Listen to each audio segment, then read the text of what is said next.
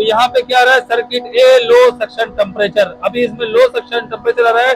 पहले आ रहा था हाई सुपर हीट तो अगर आपके भी एचपीएसी सिस्टम में चिलर सिस्टम में अगर हाई सुपर हीट का अलार्म आ रहा है या लो सुपर हीट का अलार्म आ रहा है तो उसको हम लोग कैसे ट्रबल शूट करेंगे और कैसे चेक करेंगे कि क्या प्रॉब्लम है और कैसे उसको सॉल्व करेंगे? तो ये वीडियो आज आप लोगों के लिए बहुत ही खास होने वाली है। इसलिए वीडियो को लास्ट तक देखें। स्किप ना करें। वीडियो अगर अच्छी लगे तो ज़रूर लाइक कर दें। चैनल को सब्सक्राइब करें। और बेल नोटिफिकेशन पे क्लिक करके ऑल पे सिलेक्ट कर दें, अपने दोस्तों के साथ भी शेयर करें। क्या पता उन्हें भी इसकी ज़रूरत हो। तो दोस्तों, मैं जहाँ पे अभी खड़ा हूँ, आप मेरे जो पीछे देख रहे हैं, ये कैरियर का thirty X AquaForce chiller है। इसमें मैं बता रहा हूँ, लेकिन आप किसी भी कंपनी के चिलर में सेम मेथड अगर अपनाएँगे तो आपका प्रॉब्लम सॉल्व हो जाएगा। चाहे वो एयर कूल्ड हो वाटर कूल्ड हो, या आपका कोई सा भी एचवीएसी सिस्टम हो। तो ये हमारे सामने एयर कूल्ड चिलर है, उसमें कंडेंसर माइक्रोजनर लगे हुए हैं। और इसमें क्या रहा है?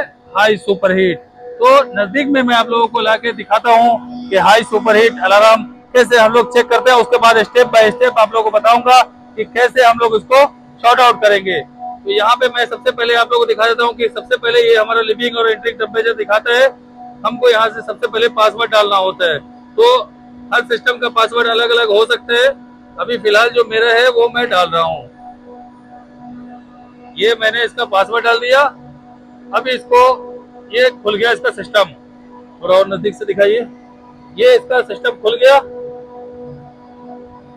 यहाँ पे हमने क्या करना है? ये यहाँ पे सारी डिटेल्स इसकी आ रही है। हमने इसको अलार्म पे लेके जाना है। सारे पैरामीटर्स यहाँ पे है।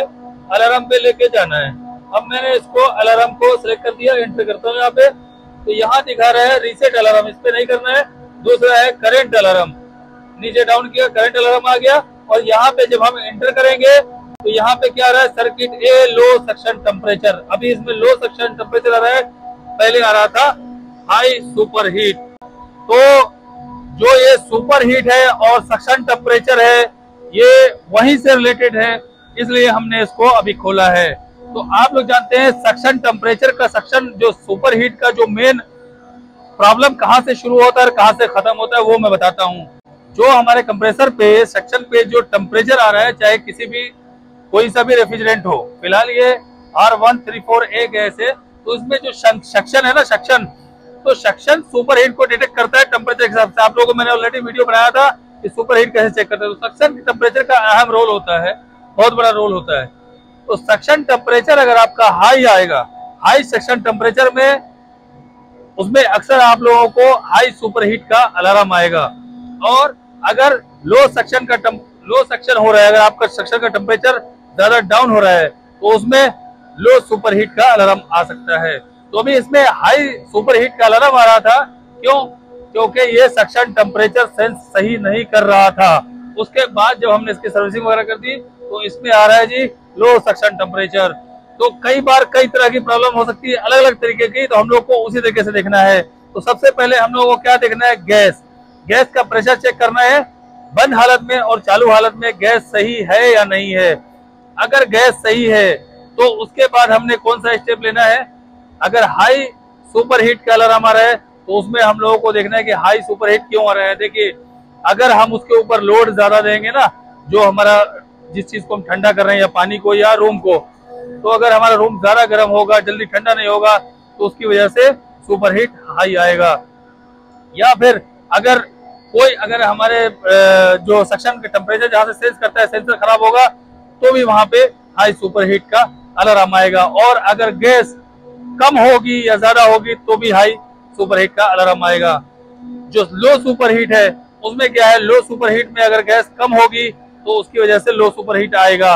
मतलब ये टेम्परेचर डाउन ज़्यादा होगा सिचुएशन टेम्परेचर ज़्यादा डाउन होगा सेक्शन का टेम्परेचर ज़्यादा कम होगा, यहाँ पे पूरा गीला होगा लिक्विड आएगा।